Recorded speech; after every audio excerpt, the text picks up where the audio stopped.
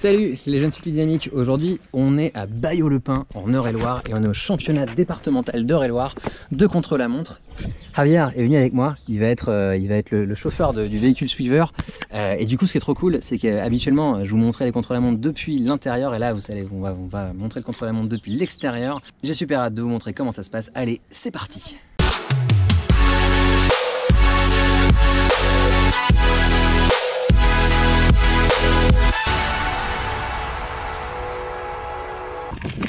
Salut les jeunes cyclistes dynamiques Bon, on a réglé l'oreillette.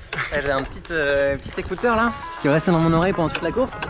Et quand on va s'appeler au téléphone, bah, ça va me permettre d'avoir euh, ce que va me dire Javier dans l'oreille. Donc, Ce que vous allez entendre dans la vidéo, bah, je vais l'avoir en même temps. je vais, fa- je vais faire le Marc Madio quoi.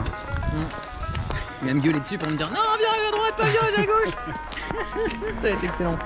Voilà, donc, donc, là, euh, on porte le vélo pour éviter de percer sur euh, les petits cailloux là. J'ai l'air d'un- d'une grosse dinde. Et euh, espérons que ça, ça soit suffisant pour aller assez vite. allez. Allez, c'est parti. Ouais, donc euh, là on se dirige au point de départ, parce qu'il reste euh, 10 minutes. Donc on va aller voir Nico, on va aller le rejoindre, espérons qu'il n'ait pas eu de petits pépins euh, à l'échauffement.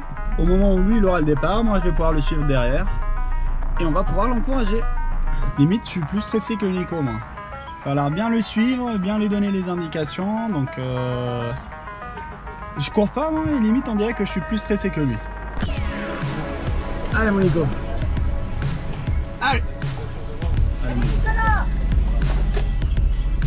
Alors après ce départ un petit peu foireux, là j'avais mis trop de, trop de braquets.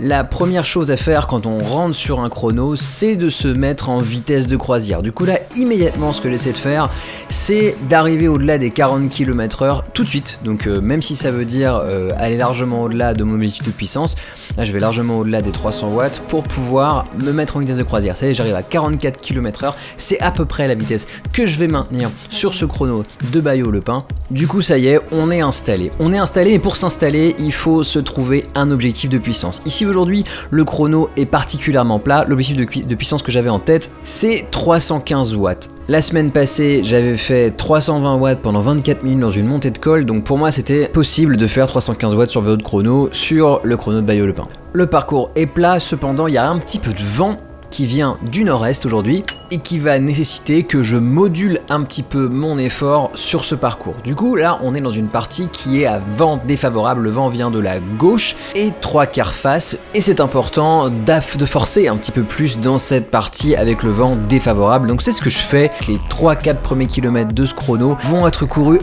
un petit peu en sur-régime. On arrive maintenant au premier virage du parcours et Javier va me donner l'indication. Coiffe le virage, on va le coiffer. J'avais vu sur Google Maps que ce virage passait sûrement sans freiner. Allez, c'est bien là. Allez hop. En sortie de virage, j'ai encore un petit peu de vitesse, ça aurait pu passer plus vite sans mettre les mains sur le cintre bas, j'aurais pu rester dans les prolongateurs. Mais voilà, enfin le fait de ne pas avoir fait de reconnaissance euh, terrain, une vraie reconnaissance sur le vélo avant le parcours m'a aussi handicapé dans les virages, vous allez le voir dans la suite de la vidéo. Ici on est dans un passage presque face au vent, écoutez Raviel.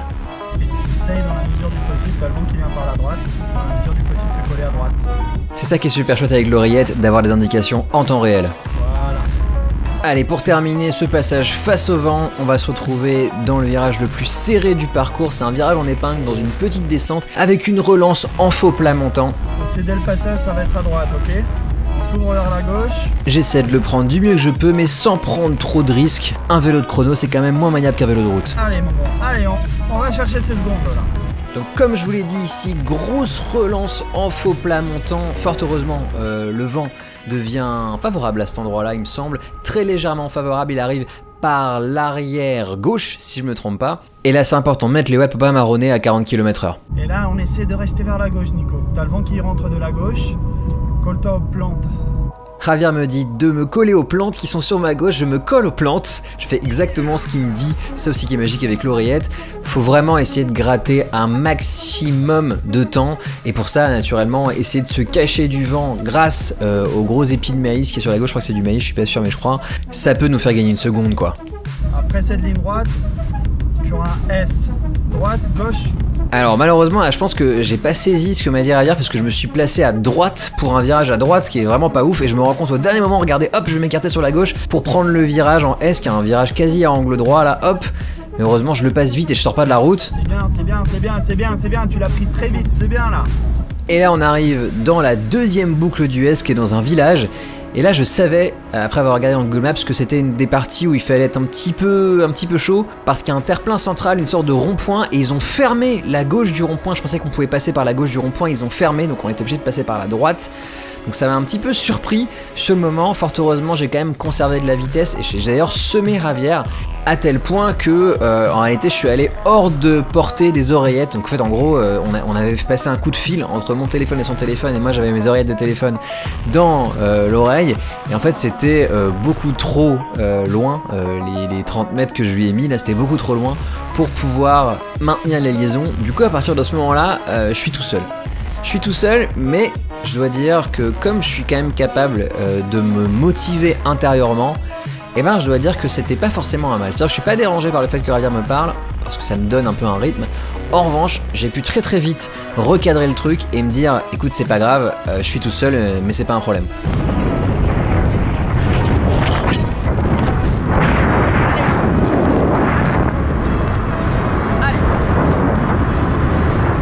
Après ces passages dans des villages et quelques virages qui ont ralenti un petit peu euh, l'allure, après le cinquième kilomètre, on est vraiment sur la partie la plus rapide du circuit. Pourquoi c'est la partie la plus rapide du circuit? Déjà, il y a un train descendant, on le voit pas, mais en réalité, je crois que sur la totalité de cette partie de route vers le sud, il y a en réalité un très léger faux plat descendant de l'ordre de 0,1-0,2%. La pente, c'est la première raison, mais vous l'avez vu, le vent souffle aussi un petit peu aujourd'hui, et par conséquent, vent favorable égale plus grande vitesse. Du coup, c'est là euh, dans cette partie du circuit que je vais essayer tant bien que mal de récupérer un petit peu. Vous allez me dire mais attends euh, c'est un chrono, tu peux pas récupérer. Et en fait je me, suis, je me suis dit, avant le départ de la course, que tous les moments où j'allais approcher des 50 km/h, j'allais pouvoir potentiellement un petit peu moins appuyer sur les pédales pour pouvoir gagner des pulsations, pour pouvoir mieux euh, appréhender la suite du parcours où le vent allait être défavorable. Là, on est dans la partie la plus facile du parcours. Très léger train descendant, vent favorable. Donc, pour gagner des kilomètres heure, c'est pas forcément ici qu'il faut essayer de le faire. C'est pas forcément en gagnant 1 ou 2 km heure dans la partie à plus de 50 qu'on va avoir un meilleur temps au final. Autant se réserver pour les parties réellement difficiles, qu'elles soient en faux plat montant ou bien face au vent. Problème, je n'arrive que très très peu à faire baisser mes Là, euh, je suis à 188, 187. C'est vraiment difficile. On n'est qu'à un tiers du parcours. Je suis sur la partie la plus facile et je commence vraiment à plafonner. Là, on entre dans un nouveau village et dans ce village, vous allez voir, euh, je vais avoir une petite surprise. je vais essayer de passer le plus vite possible. Hein, donc, euh, on reste dans les prolongateurs, etc. Sauf que je vais mal comprendre un panneau que vous allez voir arriver sur la gauche de la route, là juste après le, le poteau. Voilà, il me dit virage à gauche. Donc là, je pense vraiment qu'il y a un virage serré à gauche, sauf qu'en fait, le virage est super léger, ça va juste tout droit. Donc j'ai mis mes mains sur le cintre bas pour rien et le vrai virage il est juste après, là ici à droite. Et là voilà, hop, je le passe comme il faut. Mais ah, là j'ai vraiment mal géré. Enfin, la reconnaissance m'aurait vraiment aidé à comprendre qu'en fait à cet endroit-là où il y a un panneau qui indique un virage comme un angle droit, en fait c'était plein de bourre. Il fallait juste pas se poser de questions jusqu'à arriver euh, euh, au virage à droite. Malheureusement il n'y avait pas de visibilité dans ce village. Du coup j'ai présumé que le virage allait être net et pas euh, que ça allait être seulement une sorte de petit virage à gauche quoi. Après ce village, il y allait avoir une des, ouvrez les guillemets, difficultés du parcours. Euh, je veux parler d'un des deux ponts d'autoroute qu'on allait devoir passer sur ce parcours. Et oui, les 20 km de parcours euh, du chrono de Bayeux-le-Pin passent au-dessus de l'autoroute A10 par deux fois. La première fois ici sur la partie euh, avec vent dans le dos et la deuxième fois sur le retour avec le vent de face. Donc ici, pas de temps à perdre, hein. on a un faux plat montant, il faut écrasé, écrasé dans le faux plat montant. Donc regardez, hop, les watts s'affolent, j'ai au-delà des 400 watts en restant bien en position. Ici, on est à plus de 40 km/h. Il faut absolument être en position. Pas question de se mettre en danseuse ou de sortir euh, les mains sur le centre bas. On reste bien en position pour conserver de la vitesse. Malheureusement, tout ça, ça a été fait au prix d'une augmentation euh, de la fréquence cardiaque. On est monté à 190 battements alors qu'on était à 188 juste avant le pont d'autoroute. Du coup, c'est le moment dans la descente, ici à 3% euh, négatif, de récupérer un petit peu. Donc on va essayer de revenir en vitesse de croisière, 188 battements. Et on va continuer à essayer de récupérer parce que regardez, on est encore à plus de 50 km/h, c'est extrêmement rapide. Il serait inutile, il serait futile de vouloir rouler à 56 en, en appuyant un petit peu plus. Donc là, vraiment, je vais essayer de rester allez, un peu en dessous des 300 watts pour pouvoir récupérer comme il faut. Allez, on arrive bientôt au prochain virage qui lui aussi est assez serré. Il me semble qu'il y avait un petit peu de cailloux à l'intérieur, donc j'ai vraiment pas voulu prendre trop de risques. Me voilà, hop, c'est parti. On vire à droite, virage plutôt moyen. Très franchement, celui-là il est pas très très très beau. Hein. Je l'ai vraiment, euh, j'ai pas du tout mis le pied euh, bien sorti à l'extérieur. Là, je relance, je relance et je sais que à ce moment-là, je suis vent dans le dos. C'est même pas juste vent favorable, c'est genre vent dans le dos. Là, le vent me pousse. Et je vais encore une fois essayer de récupérer parce qu'à la mi-course là, on est presque à la mi-course, je commence à douter, je commence à me dire ah là là, je vais peut-être craquer, je vais peut-être craquer, il faut pas craquer, donc faut récupérer au max dans les parties les plus faciles. Pendant ce temps dans la voiture, ça rigole. Par contre, qu'est-ce qu'il est beau putain sur son vélo Et en même temps, on a les gendarmes. Allez, à l'entrée dans le 13e kilomètre, toujours à fond, 188 hein, battements. Il va y avoir une succession de petits virages dans un village. Donc à chaque fois que j'arrive dans les virages, en fait, je, je sais pas trop à quoi m'attendre. Je j'ai pas reconnu le circuit. Du coup, je sais pas trop trop euh, à quelle sauce je vais être mangé. Donc là, j'essaye de, passer le plus vite possible, mais en fait, je suis pas tout à fait sûr. Donc je me retrouve à, une puissance euh, bah, qui est plus faible. Là, j'aurais pu passer à bloc. Hein. Là, vraiment, je m'en rends compte après coup que je peux en remettre. Puis là, en fait, il y a un virage à droite. Je viens de voir la peinture. Du coup, je me déporte à droite. Hop là, virage à droite. Je pense que celui-là, il passe pas trop mal, il faut relancer. La relance est dans un très léger faux plat. Et là, 188 euh, battements, relance à 500 watts, c'est vraiment difficile. Je suis obligé de me rasseoir immédiatement, de remettre en position. J'ai pas réussi à relancer assez fort pour me mettre en vraiment en vitesse de croisière. Et juste après, il va y avoir un virage que j'avais vu à la reco, mais je me figurais pas que c'était celui-là. En fait, c'est un virage à droite qui se resserre sans visibilité. Du coup, je me retrouve presque dans la bordure là à la relance. Il faut encore relancer, se remettre en position immédiatement. Là, tout ce que j'ai en tête, c'est que très bientôt, on va virer dans le vent défavorable et que ça va vraiment, vraiment être difficile. Je suis presque à 190 battements, c'est dur. Allez, c'est bien, Nico. Allez, allez, allez, allez, allez, c'est bien là. Allez, c'est bien. Et un truc sur le parcours que j'avais pas en tête, c'est ce passage en faux plat montant. Regardez, il suffit d'un pour cent, d'un pour cent pour que je me retrouve à moins de enfin à 41 km/h à devoir écraser au max pour pouvoir passer ce passage difficile. Allez, 10 minutes d'effort 10 minutes d'effort Derrière moi, j'ai Javier qui hurle parce qu'il n'y a plus d'oreillettes, là ça fonctionne plus. Il me dit qu'il n'y a plus que 10 minutes d'effort et en effet, en effet, il reste environ 7 km, c'est vraiment que dalle. Mais là, j'ai repris de la vitesse, le vent n'est pas encore défavorable, mais ça va venir. Ça va venir et avant même que le vent soit défavorable, on va voir se taper euh, le petit faux plat de pont d'autoroute qui lui aussi va me demander des pulses en plus. Là vraiment je suis en train de flirter avec la limite de ce qui est possible un 190 battements, beaucoup, mon max est autour des 200, 202. Et là mon corps me dit déjà c'est trop dur, l'intensité est trop élevée, c'est pas tenable pendant les 6 prochains kilomètres, c'est pas possible. Pendant que je suis en train de prendre ce S un peu facile, inconsciemment je relâche les watts. Je repasse en dessous des 300. Inconsciemment, je pense que mon corps me dit arrête s'il te plaît.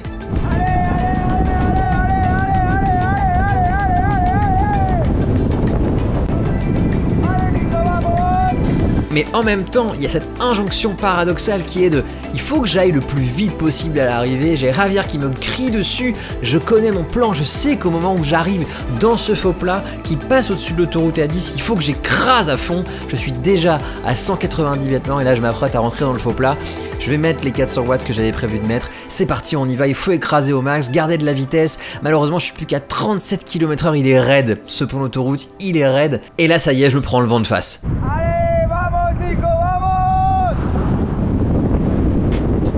Et me voilà au début de cette section du parcours, la section temps crainte. Celle qui va me mettre en confrontation directe avec le vent qui souffle.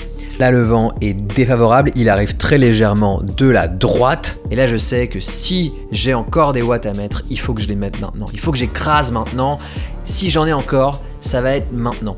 Problème, je suis déjà à la symptote, je suis déjà bloqué à 190 battements et ça fait plusieurs minutes. Je suis déjà à fond.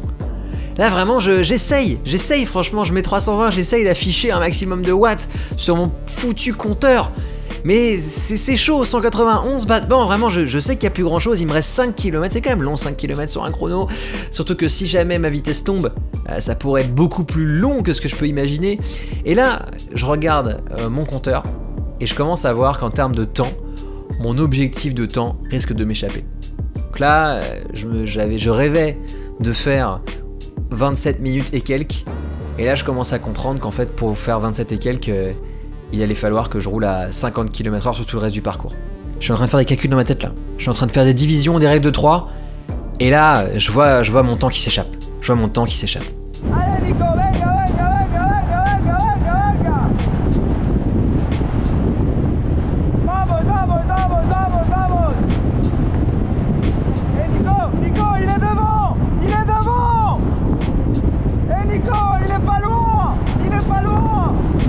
Et pendant que je doute, il y a Javier qui essaie de me motiver en me disant que devant, Arthur, PCO qui est parti une minute avant moi, n'est pas très loin.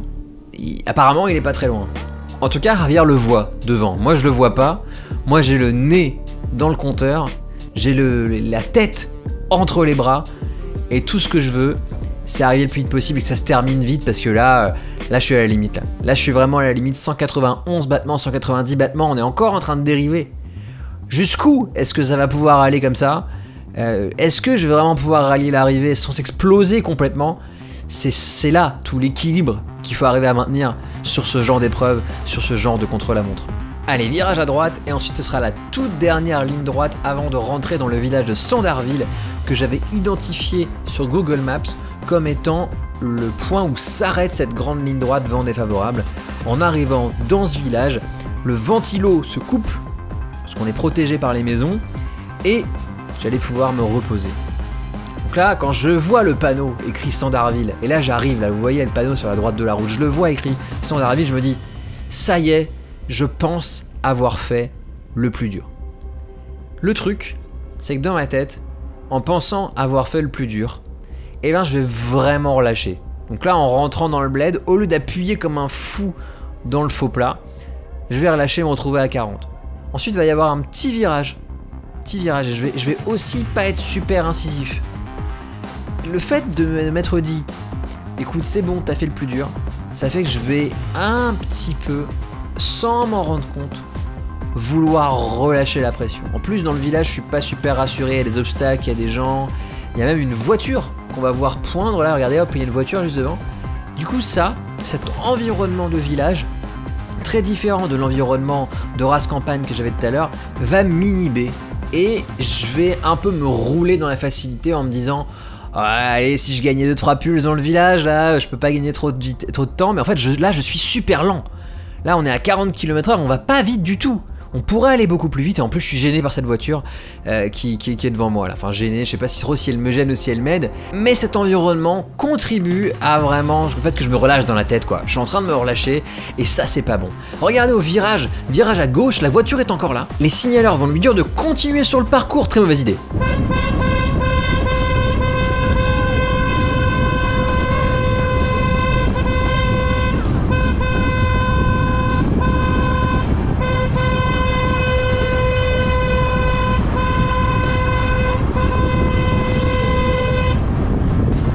Évidemment, gros stress dans le virage, hein, parce que en gros, je, me suis retrouvé à 30 cm de cette voiture. Je pensais qu'elle allait s'arrêter euh, sur le côté du virage, donc j'ai écarté comme si je prenais le virage euh, normalement. Euh, et, à la relance, bah, j'ai été archi gêné. Enfin, je me suis retrouvé sur la gauche de la route. Javier est un peu énervé, du coup, il a essayé de, le pousser à, à, accélérer pour bouger, pour nous dégager le passage. Et là, je me retrouve dans les deux derniers kilomètres. C'est la fin. C'est la fin du parcours, c'est la fin de la course. Donc là, à ce moment-là, je me dis, écoute, ok, t'es à 190 battements, mais comme il reste peu de distance, tu peux écraser le plus possible et on s'en fout si ça dérive jusqu'à une fréquence cardiaque dont il est impossible de récupérer dans un contexte classique de course, on s'en fout parce que juste après la ligne d'arrivée, euh, le déluge. Du coup, je vais pousser au max jusqu'à arriver au tout dernier kilomètre où là vraiment je comprends que c'est bon, ça va le faire, suffit d'écraser pendant allez, plus grand chose, hein. il reste rien du tout, je suis à l'entrée du village de Bayeux-le-Pin, là je peux vraiment bah, donner tout ce qui me reste, euh, tout ce qui me reste et tout ce que je peux faire pour essayer de gratter les toutes dernières secondes de ce contre-la-montre de Bayeux-le-Pin. Le cœur est toujours en train de dériver, on arrive aux 194 BPM, jusqu'où est-ce que ça va aller? Je ne sais pas, mais je suis complètement à bloc, le, but étant vraiment de... j'y vais avec tout ce qui me reste, je vide absolument tout ce que j'ai. Ensuite, virage à gauche sur l'arrivée. Malheureusement, la voiture va devoir virer dans la voie de délestage. Et là, je passe la ligne d'arrivée après 28 minutes et 25 secondes de course. Allez, débrief. Vous avez vu à des endroits là, j'étais pas bien. Si, t'étais bien. J'ai jamais pu récupérer. J'étais direct à fond, au bout de 5 minutes. Et 190 tout le long en fait. J'étais à bloc. Mais c'est bien. Ouais, ouais, ouais. Eh, t'as bien, t'étais bien placé. Je pense Hein. que ça allait vite, ouais. Euh, mais voilà, je fais 40, euh, 30, 44, là, 44 et quelques. Ouais. Devant Arthur, il est meilleur, il fait euh, 20, 27, 55, je fais 28, 20, 25. Ok. Du coup, ça va, ça va être long, je pense, mais on va voir. Ok. Ouais, Javier il est tellement un bon assistant, il m'a ramené un petit cookie, un petit coca. Voilà, il a quelque chose à se faire pardonner, qu'est-ce que j'ai. Non, Qu'est-ce que t'as fait de mal encore Non, ouais, du coup, je sais exactement où j'ai perdu le temps. Genre, euh, juste avant le deuxième pont d'autoroute, en fait, je me préparais à la partie d'après qui était vachement dure. Mhm. Et là, j'ai craqué un peu dans la tête en me disant euh, si je si j'arrive pas à. Si je, si, je- si je me réserve pas pour cette partie vraiment très dure après, là, Mhm. dans- quand on arrive dans le bled de Sandarville, là, je me suis un peu relâché. J'avais 40, euh, 40, 41 de moyenne, ça allait pas du tout. Et après, voilà, c'était trop dur quoi. J'étais vraiment collé à 190 tout le long en fait. On regardera ma, ma courbe de. Ah, t'avais plus rien quoi. Ouais, ma courbe de BPM, j'avais plus du tout de. Ah si, pendant le dernier kilomètre, j'ai pu euh, remettre, enfin pas re- accélérer, mais juste reprendre l'allure de croisière que je voulais avoir pendant toute la course. Mais euh, ouais, je suis monté, j'étais- j'étais à fond au bout de 5 km, j'étais à fond. Voilà, c'est ça que j'ai donné tout ce qui était possible aujourd'hui quoi. Mais voilà, je pense que ça va, faire assez long en vrai.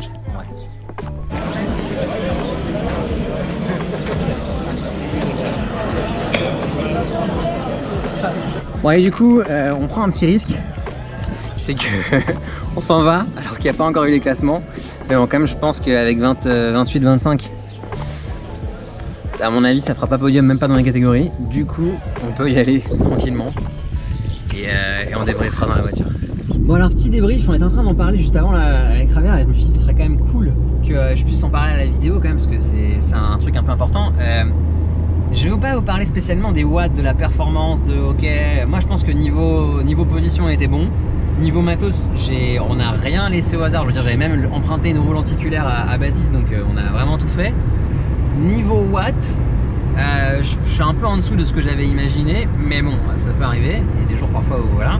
Mais surtout, là, ce que j'ai envie de parler, c'est plutôt l'aspect mental. C'est euh, en fait, comme je m'étais, avant d'arriver dans le chrono, j'avais fait deux trois petits essais. Je m'étais dit, putain, à Longchamp, j'arrive à faire euh, avec 310 watts, 315 watts, je fais 46 km/h. Donc je m'étais dit, franchement, si si je suis dans un bon jour, peut-être que je peux faire 45-46 de moyenne.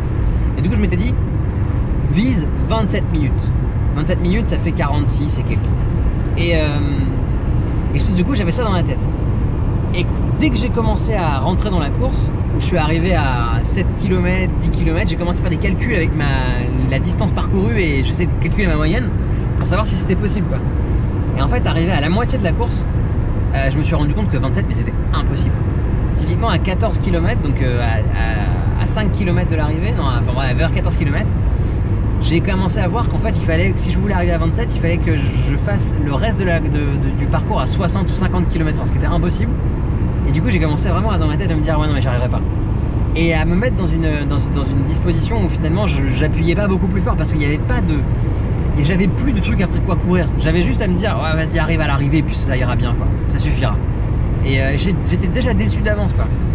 Et du coup, euh, ça a eu un impact assez, assez grand tu vois, sur ma capacité à vraiment aller chercher la, souffrance et aller vraiment chercher le, plus de watts, le plus de performance. Donc, euh, si je dois retenir un truc de ce chrono, c'est euh, ne vous fixez pas d'objectif trop élevé parce que ça peut vous mordre le cul dans le sens où ça peut vous décourager trop tôt. Alors que peut-être que si j'avais pas pris d'objectif ou si j'avais pas su quel était mon temps au moment où j'allais regarder euh, sur le chrono, peut-être que j'aurais donné le maximum jusqu'à la fin. Je sais pas. Peut-être que je n'aurais pas eu ce coup de mou au milieu qui m'a vraiment fait perdre un maximum de temps juste avant notamment le, pont d'autoroute là. Enfin voilà, mais euh, voilà, c'est une, bonne leçon euh, à apprendre. Je sais pas encore quel est mon classement, on n'a pas, pas attendu que les classements soient édités, mais il y a de fortes chances que je sois en dehors du, podium, donc euh, même en Open 2. Donc ça ne servait pas forcément à grand chose d'attendre que le classement soit, soit établi. Quoi qu'il en soit, nous ce qu'on va faire là, c'est qu'on va préparer euh, le tour du Vexin en allant, en allant boire un petit panaché, histoire de se rafraîchir un peu parce qu'il fait chaud aujourd'hui, il faisait 24 degrés sur le vélo et je peux vous dire que j'ai eu chaud 26 degrés. Voilà, là, là ça dit 26 degrés. Du coup, on va, on va juste se détendre et préparer la course de demain. Tour du Vexin, le départ à 9h au, à Vigny, je crois que c'est à Vigny. Et euh... à Vigny, ouais, nous on a rendez-vous à avec Bruno à Longchamp à 7h du matin. Donc Miracle Morning et on part faire, euh, on euh, le tour du Vexin. Ouais, mais ça va être génial. Enfin, je pense que ça va être cool. C'est une course qui est difficile. Elle est aussi assez prestigieuse parce que c'est une course en ligne qui est très sympathique. L'an dernier, elle a été gagnée en échappée par Guy Bouville qui a, qui carrément euh, explosé le peloton à 43,4 km/h pendant. Je sais pas, il a, fait 43 et des brouettes pendant 40 minutes tout seul. Donc voilà, il y aura beaucoup de niveaux à mon avis. On va, on va... Ah ouais, c'est ouf. Hein. Niveau, niveau, de ouf. Euh, ouais, ouais, c'est stratosphérique. Il est très très fort. Et ben, ouais, voilà. Et euh, du coup, il sera là demain. Donc, euh, à surveiller évidemment. Mais nous, notre but, enfin, Cravière, typiquement, moi, comme j'ai été explosé au troisième grimpeur, et ben, on essaiera de faire mieux que l'an dernier, c'est-à-dire de pas exploser au troisième grimpeur. Bon, je suis très content de vous avoir avec moi aujourd'hui.